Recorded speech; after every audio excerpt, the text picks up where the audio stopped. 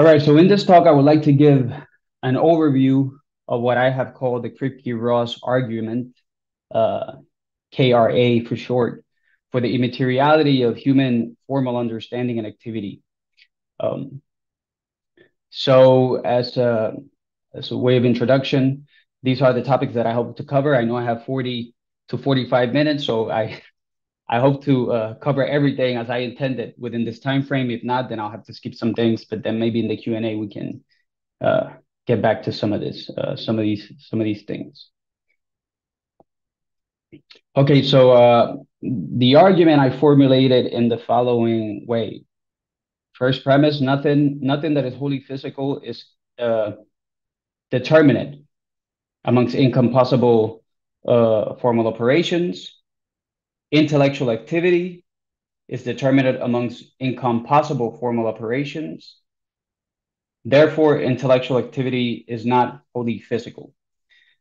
Premise one is established by considerations that emerge upon reflection on the work of the late American philosopher Saul Kripke, specifically his skeptical paradox and his unpublished arguments against computational functionalism. I'll have more to say about this uh, later on. Premise two is established on the basis of the late American philosopher James Francis Ross, who gave several arguments in favor of the formal determinacy of thought. That is, that intellectual activity is determined, determinate amongst incompossible formal operations. I'll explain these terms uh, shortly. We shall also have something to say about this later on. So the first premise gives us a mark of the physical, that it is formally indeterminate. The second premise gives us a mark of the intellective, that it is formally determinate. What I will give here today is an intuitive proof or argument of the soundness of this argument, as a more technical approach would not be possible within the time constraints. But I hope that the core idea of the argument will get through and that we can motivate more discussion and more research on this on this argument. So before uh, moving forward, I want to clarify some term some terminology here. So the argument, KRA, as I constructed, concerns mathematical and logical rules and operations, not mathematical and logical objects. It is directed at the capacity and ability for applying or following mathematical and logical rules and what obtains on account of their application, definite patterns of calculation or reasoning. I will have nothing to say about mathematical and logical objects as such, for example, sets, numbers, geometrical figures, but much to say about operation, adding, negating, quantifying, inducing, deducing. I argue that intellectual activity, for example, doing mathematics, doing logic, thinking mathematically or logically, cannot be a physical activity, process, or operation, be it by identity, supervenience, or other form of analysis. There is no such thing as a material power by which formally determined operations can be actualized. And that will be uh, the, the main claim that we will try to defend here. Notice the phrase formally determinate. And let me clarify what this means. By formally determinate, I mean that there are structural principles of intellectual activity whose application actualizes definite patterns of reasoning, thinking, or calculating. Such patterns constitute the form, read, structure of the thinking to be differentiated from the content of the thinking. For example, there is a difference between the form of an argument or operation, say whether the argument is disjunctive syllogism, an instance of modus ponens, or of Barbara, or whether the operation is one of addition or subtraction. So that's form. And another thing is the content of the argument, what the argument is about, or what the operation is ranging over. For the moment, keep in mind that the key notion here is determinacy, and in particular, formal determinacy, not content or semantic determinacy. Now, I also want to point at this uh, at this moment that there have been some attempts at developing this argument or similar argument along semantic lines.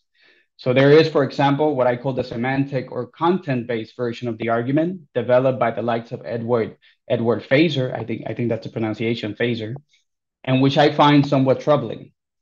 This, ver- this version argues from the alleged semantic indeterminacy of the physical also phrased in terms of the physical being ambiguous or indeterminate with respect to conceptual content, and the semantic determinacy of thought, that is, the unambiguousness or determinacy of the content of the thought, to the immateriality of the thought.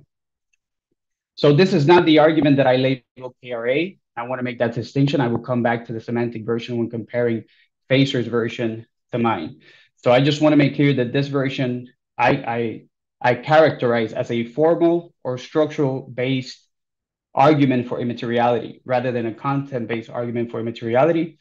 And this argument will argue, or I will argue, from the form or, or structure of the operation, okay, that constitutes the operation as a logical or mathematical act and is therefore determinate with respect to that form to the necessary materiality of that type of thinking. Okay. Now, let me say a few words about uh, the background or the context of this argument. So the first premise, as I have it here, which comes from Kripke's arguments, or that is developed on the basis of Kripke's arguments, uh, the arguments that that I that I refer to as being that of Kripke's are two. So there's the skeptical paradox, the famous skeptical paradox that Kripke develops, and then there's the unpublished arguments and critique that Kripke develops uh, uh, against computational functionalism. Now, uh, the interesting thing, or the thing that I want you guys to keep in mind as we go and defend the first premise, which I think it's is the one that's doing the heavy work in this argument, um, is that when when we are talking about functions, the relation of the notion of functions or forms, which I use formal determination, formal operations, is related to this theory of mind that is called functionalism. Now, for the sake of for simplicity's sake, I'll just define it this way. But functionalism was a theory that aimed, it was still supposed to be a naturalistic theory, but aimed to explain mental states, all mental states, or at least uh, depending on the version of functionalism, if it was computational functionalism, then our ability to compute functions, then this was supposed to be explained in terms of abstract functions or roles that are somehow implemented physically right? And the commitment was that well, we don't need to identify the mental state with a physical state or a type of physical state, sorry, but we can identify with the functional role that that physical state or those physical states implement. Now, Kripke develops uh, the unpublished critique, and so I'll develop it here in my way. I want to make it clear that this argument is Kripke as he struck Antonio, and so it's probably that Kripke won't um, uh, or wouldn't uh, uh conclude all of these things. But I think that if we take Kripke's arguments to their full consequence or to the fullest extent, uh, to their full extent, I think this is what we are will be left with. So, uh,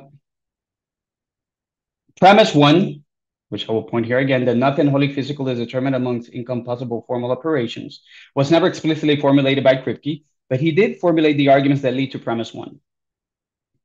Now, a classic argument in analytical philosophy, now a classic argument in analytical philosophy, Kripke attempts to show that there is no fact of the matter as to whether anyone or anything can follow a determinate or mathematical rule. That's the famous skeptical paradox. For instance, take the addition function, which we all know. Now, Kripke asks, asks us, take the non-standard function of addition, which Kripke defines as follows. Um, quaddition is an operation that yields the same values as addition unless one of its operands is 57 or greater, in which case it yields five. So here's the definition. You have that um, th this is the symbol of quaddition. Uh, quaddition will yield the same values as the addition function for any number less, less than 57. Otherwise, it gives you five, right? Now, Kripke develops this argument when he's commenting on what he takes to be Wittgenstein's paradox, because he takes it that Wittgenstein is developing a skeptical paradox. And in philosophical investigation, subsection 201, there's this statement by Wittgenstein that reads, this was our paradox. No course of, no course of action could be determined by a rule because every course of action can be made out to accord with the rule, end quote. So Kripke asks us to consider the fact that addition and quaddition coincide for a subset of their possible applications, but diverge for the totality of their possible applications. So addition and quaddition coincide for any numbers less than 57, diverge afterwards. Notice, however, that this is not exclusive to addition, and the argument to be developed is not strictly speaking about addition. In fact, the argument can be developed using any mathematical and mutatis mutandis logical operation. The argument is concerned, as I will develop it, with the categorical or metaphysical account of what it is to carry out, that is, what it is to apply, follow, or realize a definite formal operation or formal rule. So the strategy is perfectly, perfectly generalizable to any abstract rule, function, or operation. Take any standard mathematical or logical operation you like. Find a non-standard logical or, math or mathematical operation that coincides with the standard one for a sub subset of their possible arguments or applications, but diverges from it for the totality of its possible argument. Now suppose that 57 in our quaddition example is just a placeholder for a number too great to be computed in a finite number of steps and time. Right? There will always be number too great to be computed. We're letting 57 just signify that. Following Paul Boghossian, we'll call this an inaccessible number. Addition and quaddition are clearly mathematically distinct, and we can define them set theoretically if we wish. If we, if we wish. Yet the question arises as, as to what would be to apply either one determinately, given that their final applications coincide for all accessible numbers. Functionalism, as Kripke observed, offered, uh, according to many philosophers then, a naturalistic, that is physicalistic account of what it is to carry out a formal operation. In broad outlines, the idea was that concrete formal operations must consist in the suitable physical implementation or realization of the abstract rule or operation in question, and that this is precisely what physical computing mechanisms already do. So isn't this already settled? Well, not quite. What the Kripke considerations allow us to see is that the determination of a mathematical or logical feature, uh, sorry, what the Kripkean considerations allow us to see is that the determination of the mathematical and logical features of a physical mechanism are not completely a matter of its matter. That is, there is no such thing as a physical feature, property, or power that can fully determine or actualize, amongst incompossibles, addition and quaddition being incompossibles, a unique mathematical or logical operation. There is a difference between acting in accord with a rule and following or applying a rule, just as there is a difference between thinking about a rule and applying the rule. I will come back to, to that later. What PCMs do, that is physical computing mechanisms, what they do and reliably and reliably so is behave in accord with a set of formal rules that they do not, for they can, for they cannot follow in any determinate and intrinsic sense. So before delving into a few thought experiments, let me state an important principle, which I think must be preserved if anything is to carry out a definite formal operation. And I call this principle exclusion. This is my terminology. Uh, this is not Kripke's. So according to the principle of exclusion, for any formal rule F, the application of F excludes at the same time and in the same respect the application of any other incompossible rule F prime. That is that whatever is supposed to account for the implementation of a given mathematical or logical function, so as to have a particular or determinate logical or mathematical operation, must be so that it determines that it is that function and not some other incompatible or incompossible one, the one that is realized. That's what we mean by exclusion, and that's what guarantees determinate realization of mathematical and logical operations. Otherwise, it will be indeterminate that there's any operation at all that is being carried out. And here's the thesis of formal, the formal indeterminacy of the physical, that there are no physical, this is the thesis that we aim to prove, that there are no physical features of a PCM that determinately or, or can, that can determinately realize or actualize uh, formal properties or formal operations. So first thought experiment. Let P be a PCM whose role is to carry out the addition function. Now suppose that there is a twin Earth, and this this this example is taken from Hilary Putnam. Twin Earth is a physical duplicate of Earth. Um, it has uh, it is physically equivalent to Earth, but there are some differences there uh, that we'll we'll explore in the following thought experiment. So suppose that there is a twin Earth where a physical duplicate of P, P sub E exists. Call it P sub TE, right? Now, in, in Earth, P is supposed to carry out the addition function. In twin Earth, P, which is a physical duplicate of PE, PTE carries out the quaddition function, right? Recall that 57 is ex hypothesi um, and an accessible number. Now, humans in twin Earth have what humans in Earth would call non-standard mathematics. Humans in twin Earth do quathematics. They do quaddition rather than addition, and then define addition in terms of quaddition. And now here's the conundrum.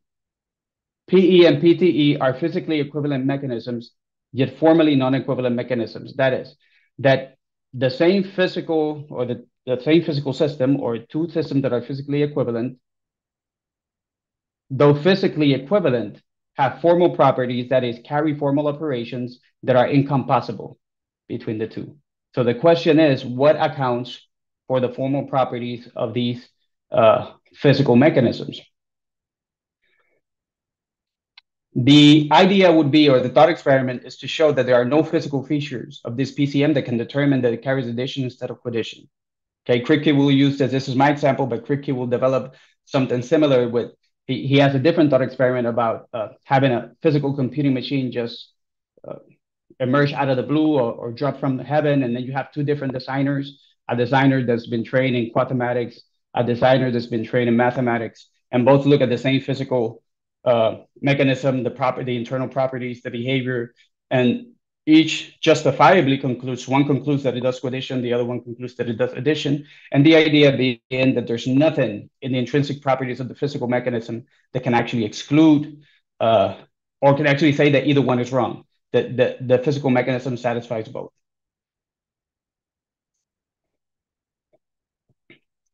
A second thought experiment comes to us from Edward Stabler, who interestingly enough, developed this sort of experiment as a response to Kripke. Because when Kripke gave one of his unpublished talks, he was present. Kripke never published it.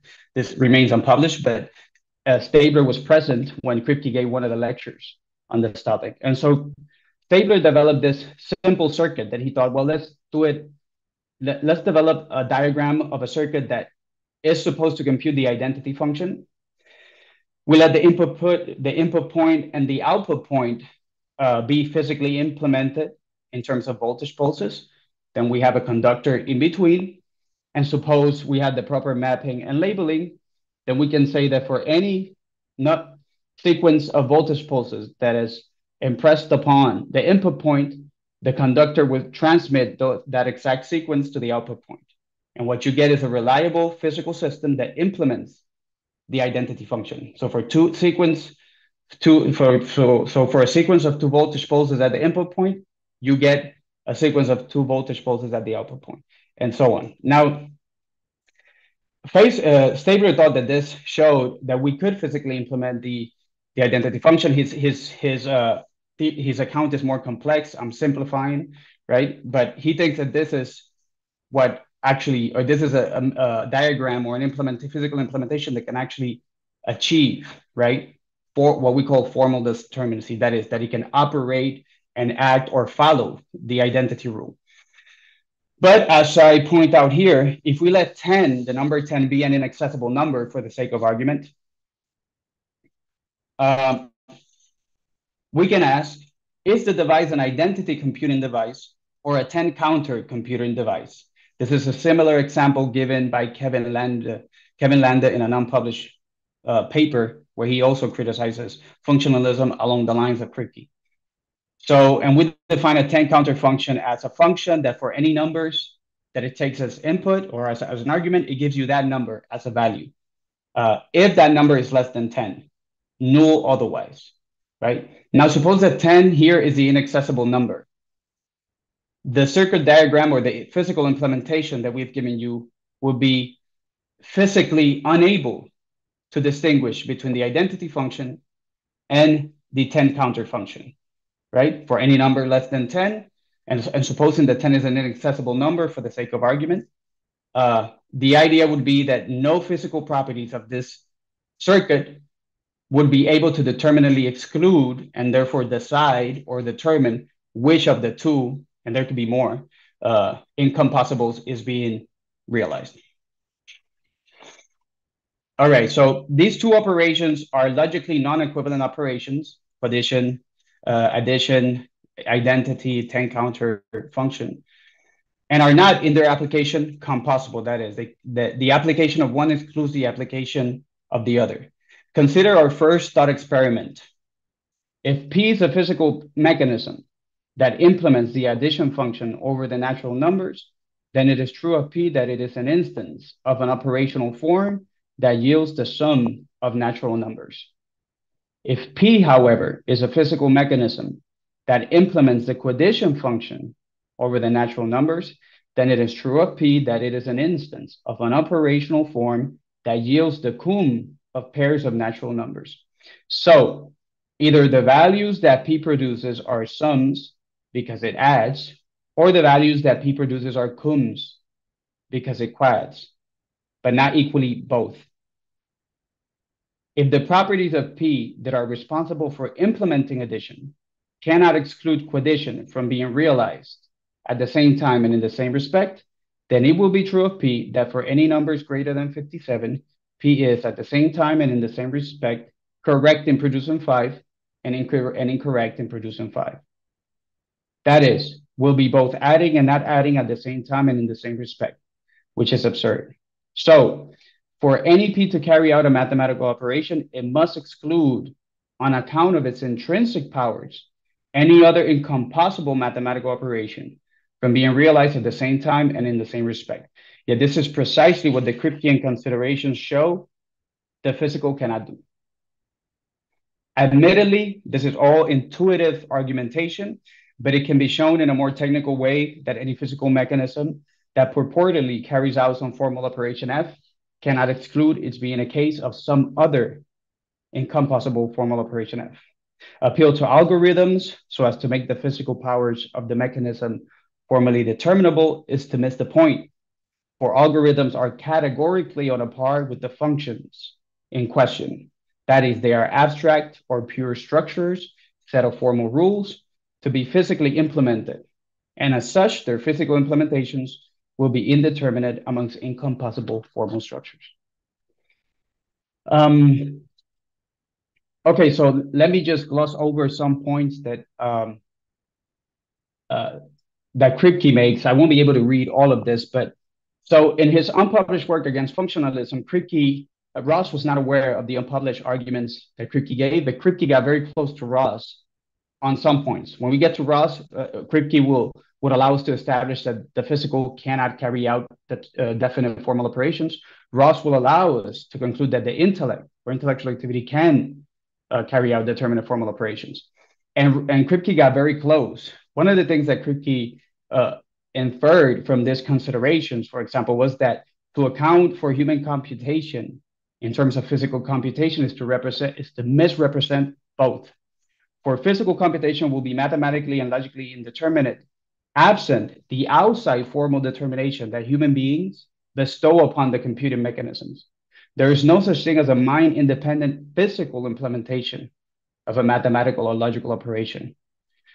Um, how this mind independent determination happens or should be explained is one thing, but that it must be that way is one thing that uh, is a consequence of Kripke's argument. Also, Kripke does not think that uh, subsuming human computation under the category of physical computation is tenable. Because if it is the case that physical computing mechanisms, right, um, have their formal properties relative, let's say, to the determination of an outside agent, uh, then it will be it become necessary to explain human computation in the same way, right? But, but Kripke thinks that it is highly implausible to suggest that human beings reason mathematically and logically on account of some human or non-human determinant, determiner, interpreter, or designer. For example, in order to know whether we reason logically, we are reasoning logically right now, or thinking determinately in terms of addition or identity or quidentity, we would need to consult the interpretation of that agent. But this is ridiculous, says Kripke. So the buck must stop with us. And the physicalist approach, even a functionalist, misrepresents what we do when we carry out formal operations and what physical mechanisms do when they carry out formal operations. That is, physical mechanisms, formal properties are relativized to a mind outside the physical mechanism. In human beings, there's no such relativization. That's kind of like the conclusion that Kripke draws. Now, this is as far as Kripke takes it. But Kripke's argument against functionalism seems to point to some sort of fund fundamental asymmetry between physical mechanisms and human beings. What should we conclude from the fact that our mathematical and logical activity cannot be accounted for intelligibly in terms of the physical implementation of mathematical or logical operations? Is it true that our powers cannot be accounted for in physical terms?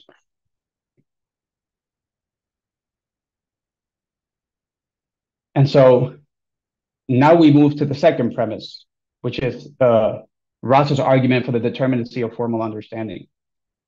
And so now that we've established that the physical cannot realize a formal operation in a determinate way, for the physical cannot exclude incompossible formal operations from being realized at the same time in the, in the same respect, um, we need to ask whether human intellectual activity is any different. Some think some thinkers, and Ross considers some of these thinkers like Dennett, would probably bite the bullet and say that no, that what applies to the physical must apply to the intellect because the intellect has to be physical, right? So um, I don't devote as much attention to this premise because I think by reductio it's easier to prove that thought is determinate and how incoherent or intelligible physicalism turns out if we assume that the intellect is uh, physical and therefore formally indeterminate. Okay. Now there are several arguments that one can give, but I will limit myself to one. Following Ross, assume for reductio that intellectual activity is wholly physical. If this is true, then intellectual activity is formally indeterminate and therefore realizes no definite logical or mathematical operation. But to use, and I'll just skip to this one. So this is kind of like the argument. So if materialism is true and the Kripkean considerations tr are true, this is what we need to conclude, right? Um, these are two arguments that show that if materialism is true, we could not do mathematics and we could not do science, right? That's the implication. Uh, it's like what Ross says, it's like saying that we cannot read these very words. But these arguments have, rather than point to a self-contradiction, point more to the fact that it's absolutely ridiculous to ask us to deny something or reject something that we know that we can do. The one that I want to uh, just highlight briefly is this one. So assume for reductio that intellectual activity is wholly physical. If this is true, then intellectual activity is formally indeterminate and therefore realizes no definite logical mathematical operation. But to use formal indeterminacy arguments to establish the formal indeterminacy of thought is a pragmatic contradiction. For one, in order to establish the formal indeterminacy of the physical and therefore extend it to thought, one must engage in an activity that the argument shows the physical cannot engage in. One must make inferences and develop an argument, define and discriminate between formal rules, etc. And two, in order to deny that one can think in formally determinate ways, one has to think in a formally determinate way, namely negation, which is a form of thought.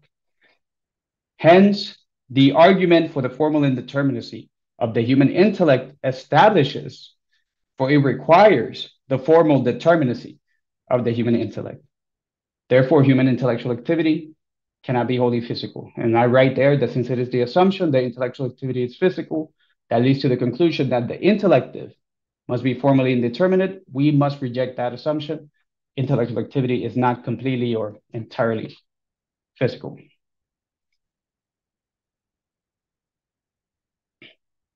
All right. Some um, to conclude, I would like to highlight some features as to why there's some sort of a symmetry between the intellect and the physical. So the as I as I said in the conclusion to the first premise, the physical violates exclusion, right? So the problem with the physical is that it is inclusive with respect to formal operations. If it admit one, if it admits one, it admits all, which is why it leads to absurdity, right? In which it grounds contradictory counterfactuals. But these logical operations exclude one another from being realized at the same time.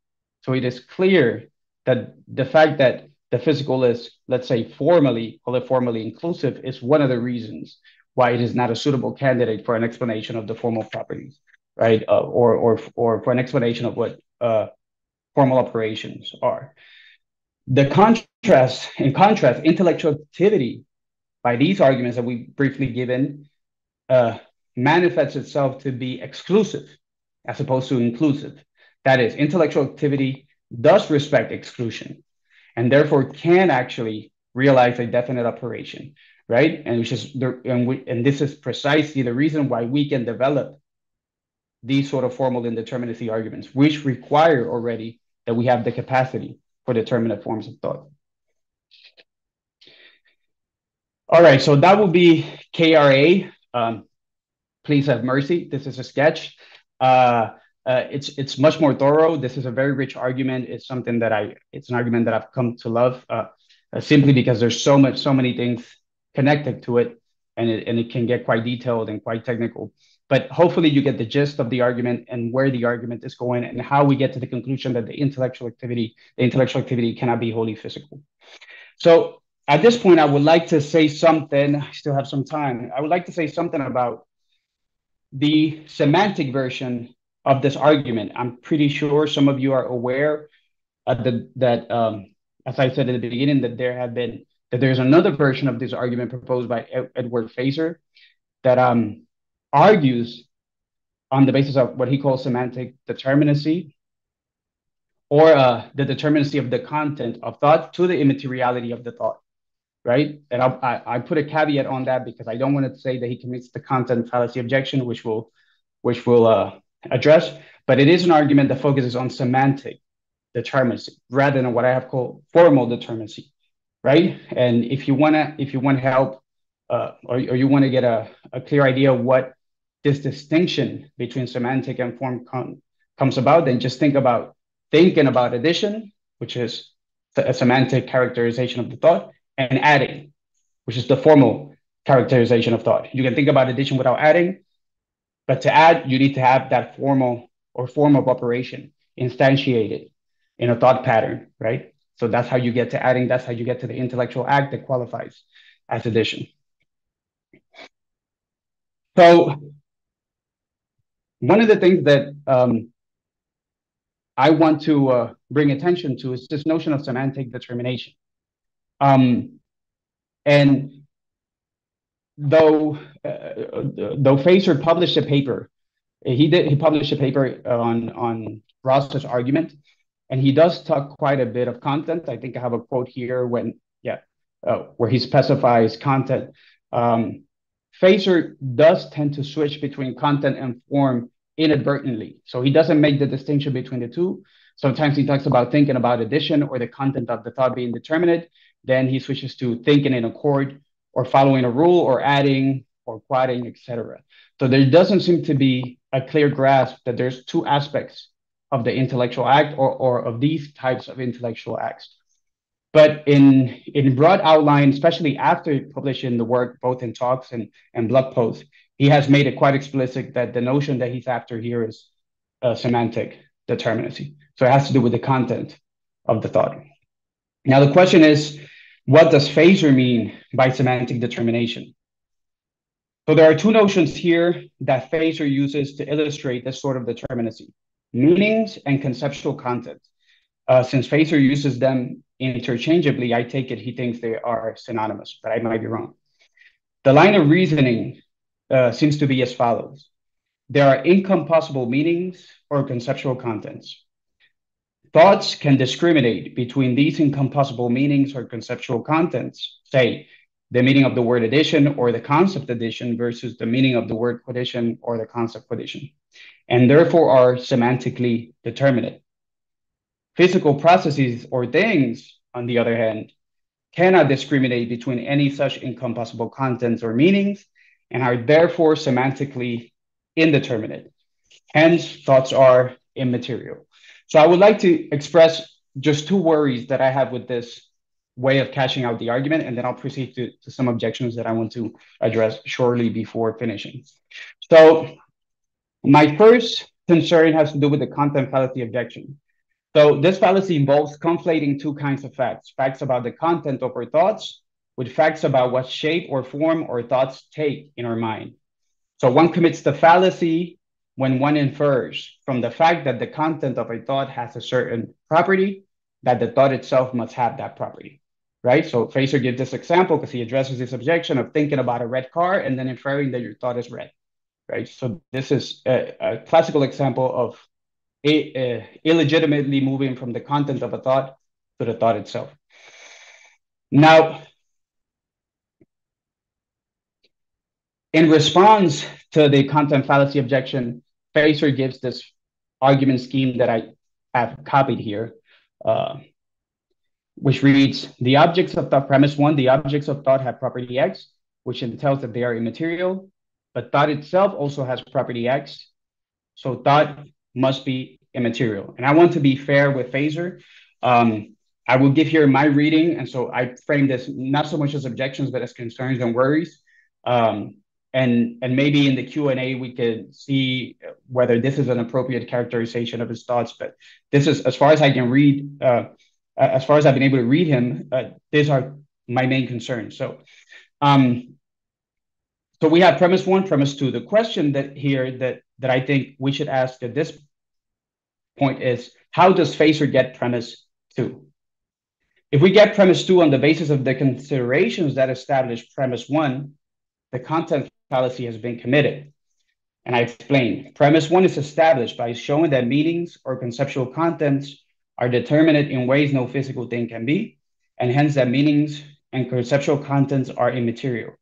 But then, but then all we can conclude from these considerations is that thoughts are about semantically determinate objects, not that thoughts themselves are semantically determinate objects, unless we identify the objects of thoughts with thoughts themselves. But then this seems to commit the content fallacy uh, that uh, is developed by Passenhoff, by the way. Additionally, this argument scheme seems to make viable the claim that thought is only about immaterial objects, since the overall reasoning behind, behind it seems to imply that one of the hallmarks of an object of thought is that it is semantically indeterminate, and that this, and that this implies that it is immaterial. In my case, I say that all of this can be avoided if premise two is interpreted not semantically, but formally. And I think this is what Feser might have been trying to get at, though not explicitly. So if premise two, but thought itself as property X, is taken in the formal way, then premise one, that objects of thought have property X, which entails that they are immaterial, drops out as irrelevant, since the formal version of the argument need not appeal to the objects of thought, and semantic considerations become secondary. So a more appropriate way to frame this in terms of KRA would be the objects of thought have property X. Property X implies that it is immaterial. Uh, sorry, sorry, uh, not the objects of thought. Would be to take to eliminate one, take two, and say thought has property X whatever has X has it's, it's material, therefore thought is immaterial, and make no reference to the object of thoughts. My second worry with CBA is that I cannot tell, that is the content-based version of the argument, is that I cannot tell exactly what the argument establishes. For example, take the concept addition.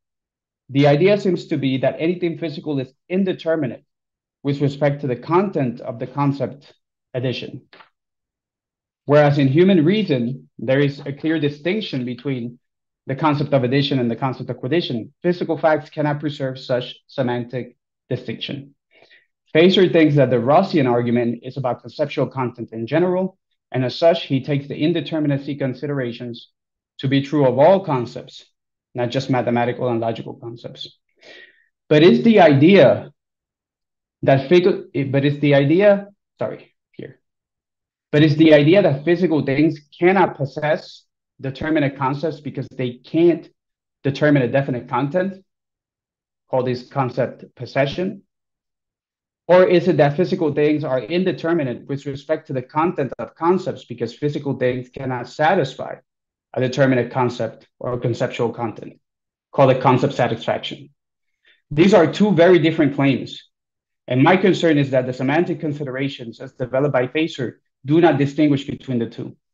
Indeed, they seem to support both, and specifically, they seem to support the claim that there's no unique concept that determinately applies to any physical thing, since for any physical thing, there will be incompossible concepts which it will equally well satisfy.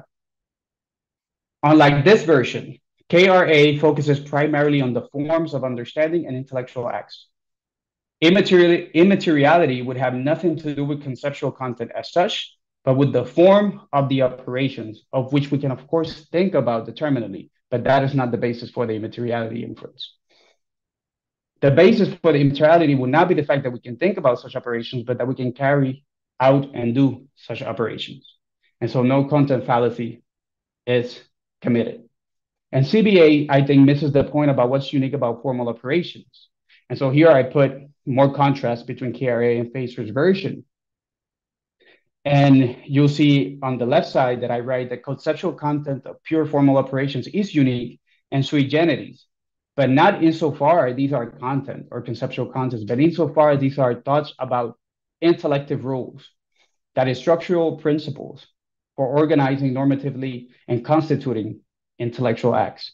So what's unique about so what's unique about addition and our thoughts, our determinate thoughts about addition is that addition is that we can add.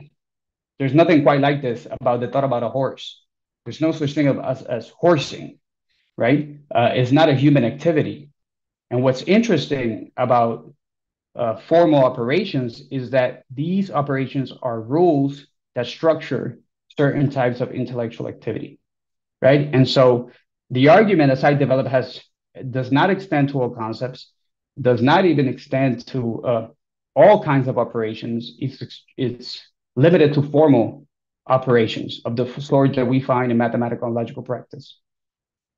Anyways, we can, if this is not clear, we can talk about it a bit more later on. So, okay, I have two objections. I won't be able to get to them. So let me just address briefly. I have, I think, three minutes. Let me just address briefly this one, the epistemological fallacy, which Daniel De Haan addressed as one of the main obstacles facing an immateriality argument. So I think that this objection is misplaced if addressed, if, if, if addressed, you know, at, at KRA. So it would accuse us of not having shown formal indeterminacy, but having shown formal underdetermination. But it seems to me that this conflates really what I would call a categorical argument with an epistemological argument. So what I what what KRA is um sorry, what KRA is actually arguing for is that physical properties or mechanisms do not meet the conditions of intelligibility for being candidates or being possessors or being realizers of formal operations. It's not that we do not know that they, that they that they can do is that we know what physical computing mechanisms are. We know the kind and type of processes that they instantiate. And this is categorically distinct and unequipped categorically as well to carry out or implement determinately, determinately and intrinsically, that is mind independently. I will not talk about, I, I, I, will, I won't have time to explain physical computation here, but physical computation does happen, happen but as Kripke says, it's relativized. There's always an anthropological fact uh, somewhere hidden that gives it the full determination. But without the anthropological element outside of the physical mechanism, you have a completely indeterminable uh, system. So one thing is to argue that it that is sheer nonsense to say that the intellect is, is physical, as I think I have shown, because of the consequences that that would imply. It makes no sense to say so.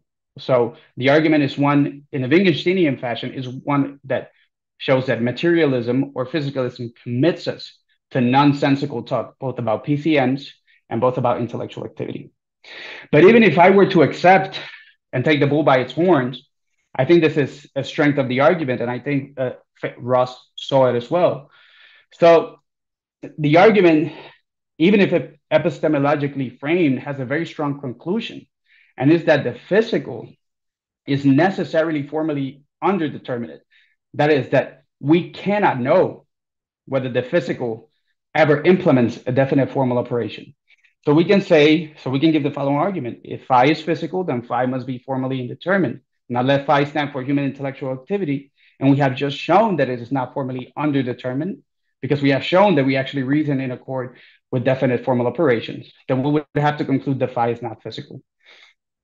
So that is a way to take the argument. Ross said in a in a footnote that he thought that the epistemological argument would prove the same point, but he didn't say how. So I think I got it here. Um, and and anyway, there's other things that we can say uh, that I can say. Um, if know that that if if we're physical and our intellect is formally underdetermined, we get more ridiculous consequences, such as we wouldn't even be able to know whether we're reasoning logically or mathematically. And you guys right now would not be able to even tell whether you're understanding what formal determination is. Um, all right. So I think I'll leave it here because my 45 minutes just rang, uh, my clock just notified me, but I had another objection that I wanted to address, but maybe we can leave that for the Q&A. All right. Thank you.